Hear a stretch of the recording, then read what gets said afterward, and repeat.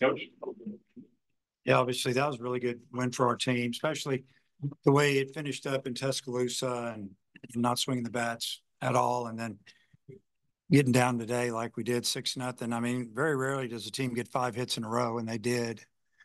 Um, I think we got the first out in the second, and uh, you know they got five hits in a row. One of them left the yard, and you know the last one or the one that you know it was four to four to nothing. You're thinking, okay, dead runner second and third, and that wind pushed that ball down on our right fielder. Down six was tough, but uh, you know then it was seven, then it was seven one, and you know we just kept saying if we could just punch in three runs somehow, hit a home run, find a way to get get it back to seven to four, you know, put a little pressure on them, and you know Behavior dropped that ball down the left field line, we knew that that the left fielder was way over in the alley that that was going to be trouble. The shortstop almost made that play, and then obviously, uh, you know, Ben McLaughlin had a tremendous at bat, went to full, and then caught him a fastball and just hit it opposite field with that slicing wind, and we knew it was gone. We left the bat. That was just a big swing. Uh, there were there were plenty of those, but uh, just proud of our guys, man. They rallied and just kept going, and you know, find found a way to win against a, a team that can really hit. And uh, you know, we got our hands full again tomorrow. Coach, you guys had seven. Both teams had seven hits with runners on. Just you know, your overall thoughts on just the performance of the plate, and to not only have them have the six run inning, but you guys also countered with the six run inning of your own. I mean, it's really rare to have a six run inning, but to have each team have one, and the team that got there second ended up winning the game. It's kind of a unusual, but uh, a lot of clutch hits, a lot of two out hits. Um, you know, we only put them on, I think, maybe one walk and, and maybe one hit by pitch. And, you know, they, they did the rest themselves. And uh, so they, you know, we really didn't give them anything. They just, they just got after Bibee. I mean, bottom line, they, they hit everything he threw in the second inning. Yeah, so you know, after Bibee, you guys kind of pieced it together. 14 strikeouts for your pitching staff tonight. Just you know, the guys after Bibee, just the way that they were able to piece it together and win it. Yeah, I mean, the guys we threw tonight are guys that we weren't going to throw tomorrow, no matter what.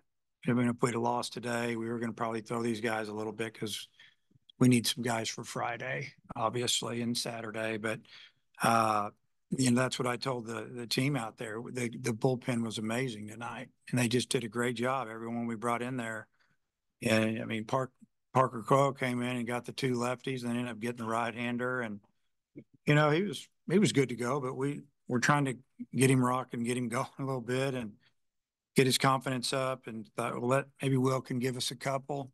We can get the lead. Maybe we can go to Gack, or Will, Will gave us one and a third, and his pitch count was getting up a little bit. We need to have him available. Uh, he didn't he didn't lose his stuff. I mean, the guy jumped his first pitch, left it in a little bit, hit it low below the wind, and got it out of the park. And uh, and then Gaeckle came in, and he was he was pretty pretty darn good. And uh, through 24 pitches, and we were you know we were trying to figure out if we were going to bring him back out if we went to the 10th.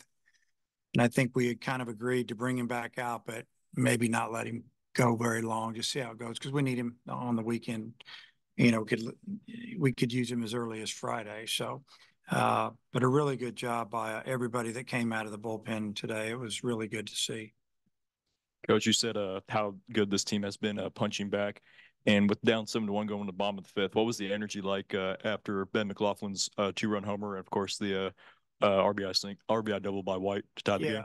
I mean, after the home run, I think the the the dugout was good, even when we were kind of getting it handed to us. Honestly, I mean, we didn't feel like that the game was over. We still had five at bats or something to go, and uh, but when when when Ben right when he hit it, we all knew it was gone, just because of the way with that crosswind, left-handed hitter slicing it would have been out anyway. But with the wind, we knew it was going to go way out, and uh, yeah, the dugout it lit up the dugout pretty good, and then we got the double and tied it you know, we're thinking we're going to get another hit and take the lead because that's just kind of the way it flows in the dugout. And, um, but, uh, you know, you got to give Jayson Jones some credit. He had a really big night. He had a line drive off the center field wall against a twenty mile an hour wind and then he's trying to call timeout.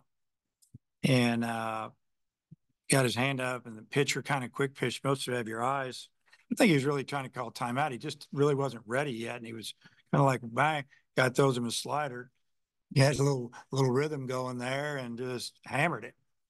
And, uh, that ended up being the tying run and, uh, but he hit two doubles tonight for us. That was big. In the bottom of the ninth, uh, their last pitcher, Parker, he he came in with a zero point forty four ERA and then throws uh and give then two errors were committed to set up the walk off. Yeah. Uh, just uh, what were your thoughts on just those two big plays that set it up? Yeah, the, you know, the ball to the third baseman, it, it, it took a, it hopped over his glove. You know, we have a perfect view of it. He was going to the ball and it hit something. I don't even know. He might have got a little leather on it, I guess, but it took a bad hop. So, you know, I guess you scored in there, but it was, a- it was a bad hop. And, uh, but, but, but the one that got him was, you know, it looked like he didn't feel the ball immediately turn to throw to second and try to turn double play because that could have been a double play.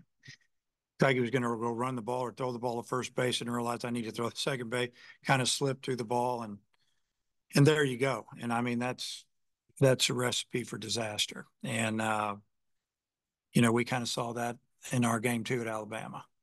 And, uh, it's, uh, the game can be really fragile, especially at the end. Little, every little thing matters, especially when it's down there, when it's over, you know, if you score. And, uh, we, we did just enough that inning to, to punch in a run. You've been saying for a lot of games now that you think the offense is coming. Uh, I know that these weren't necessarily all the players that you use on a weekend, but did, do you feel like maybe you overcame a hurdle or something tonight I offensively? do. I, I think, uh, obviously, I, I think some guys gained some confidence and, um, I thought, I thought Peyton Holt swung the bat really well, you know, his last at bat. I think was that in the ninth, you know, he'd like, to- or the, or the eighth, he'd like to have that one back, the, the slider he swung at that would have made it a full count. But other than that, I thought he had a really good game and, and some of the guys have just been swinging it a little bit. You know, it's good to see Wagner, you know, got a couple big hits and, you know, I really didn't want to pinch hit for him, but the, the numbers told me to. I mean, writers are hitting like, I don't know, one twenty against him and lefties are hitting three hundred or three fifty and, and, uh, I'm glad Souza got enough of that ball to get it to the outfield. Honestly, if the wind hadn't been blowing in, it might have went out of the park. And that thing got up there so high and started coming back. But, uh, yeah, I think we gained a lot of confidence and, um, a couple guys stepped up, even Wilmsmeyer put him in. He, he got a great jump on that ball, got a great read and ran it down and, uh, just, you know, a lot of guys contributed to the win tonight. It was, it was good to see. They were out hitting you ten to two through three and a half innings. Rest of the game, your guys were hot. Theirs got shut down. What was the key? I don't know, you know, just maybe just relaxing a little bit. You know, we hit a couple balls on the nose in the first inning and maybe one or two in the third inning.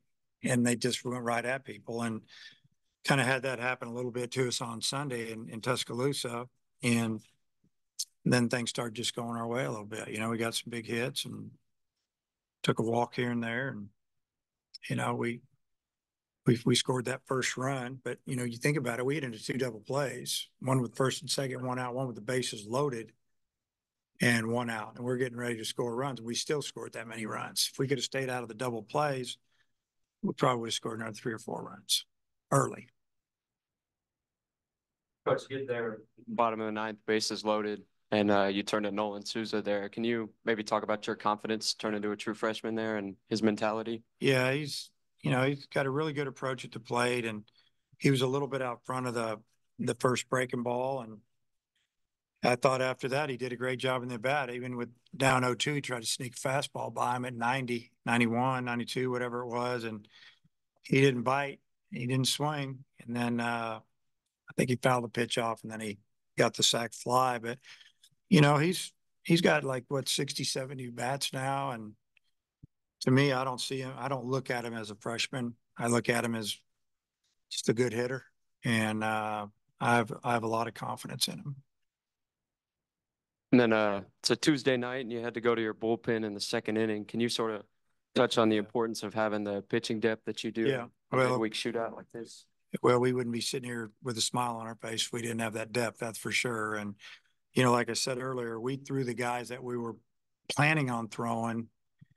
Uh, like if we didn't, if we didn't throw McEntire tonight or, or, or Gaeckle tonight, and probably even Gage.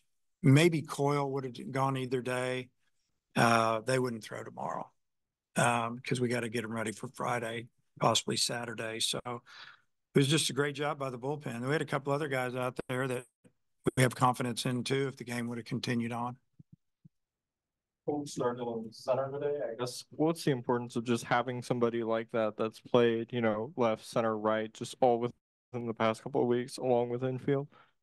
Well, it's very, it's huge, you know, at any level of baseball, if you've got a guy that can play multi positions and can swing the bat, you know, he can give a guy a rest, he can start at a position, move around, move around in the game when you make changes.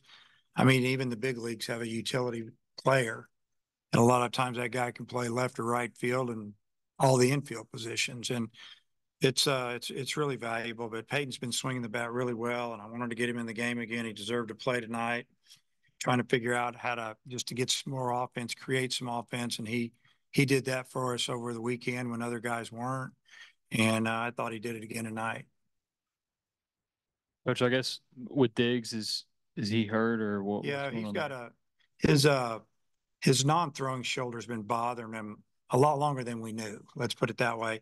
Um, he'll be ready for the weekend. He just had some swelling in there and, uh, just give him some anti-inflammatories, let him calm down this week, not swing the bat for a while. And they said he should be good to go by Thursday, probably at our practice down in South Carolina. So, uh, you know, I appreciate his effort. He tried to tough it out and but it, but it's been bugging him and you could kind of tell that on certain swings it was bothering him. So we just want to get him hundred percent. If he's not hundred percent by Friday, I won't play him. And have you decided on a starter for tomorrow? Yeah, uh, we'll go with the big, the big fish. When you were in here last Wednesday, you said that uh, Hunter Dietz was going to have an MRI that night. Do you have an update on him? Yeah, it's good right now. Everything we've seen, it's good. Just had some swelling. And, uh, you know, they've had, we've had many doctors look at it. So, you know, we'll just take it week by week and see if we can get him back, get him going in the next couple of weeks, unless something crazy happens or some gets read differently by a different doctor. But we've had a few doctors look at it. Do you think it's safe to say he won't pitch this week? Um, I, he won't pitch this week, no. Good, I go. That's a lot of questions for Tuesday night, man. That's a